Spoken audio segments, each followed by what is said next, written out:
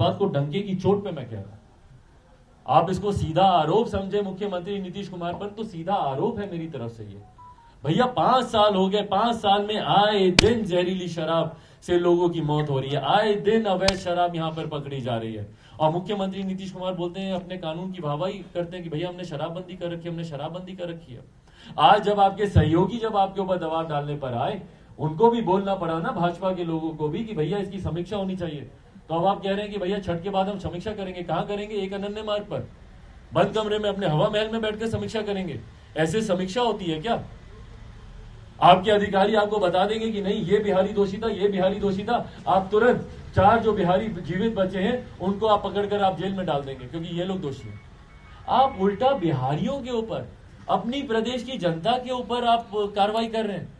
बल्कि जो अधिकारी दोषी है, उनके ऊपर आपको कार्रवाई करनी चाहिए। मुझे दुख होता है जब प्रदेश के मुख्यमंत्री नीतीश कुमार छूटते ही इसके ऊपर बोल देते हैं कि भैया जो पीने वाला है, वो दोषी है। आप एक्शन के, रिएक्शन के ऊपर कार्रवाई की आप बात कर रहे हैं। भैया, मुख्यमंत्री हैं आप।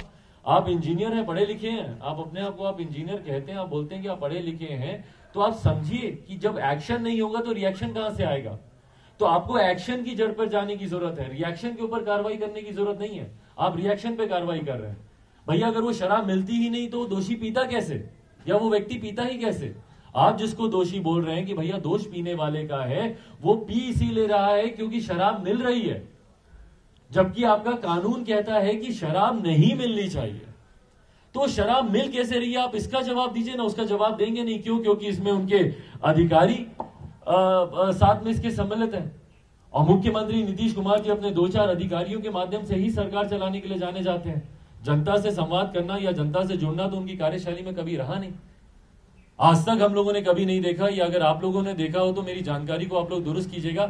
आखिरी बार किसी पीड़ित परिवार से मुख्यमंत्री नीतीश कुमार जी कब मिले थे? और मैं किसी भी पीड़ित परिवार की मैं बात कर रहा हूँ।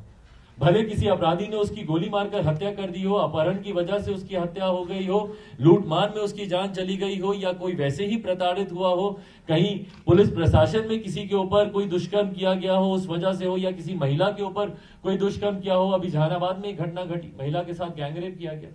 रोशना में घटना घटी, पुलिस की कैद में एक दलित युवक के ऊपर जिस तरीके से अत्याचार किया गया।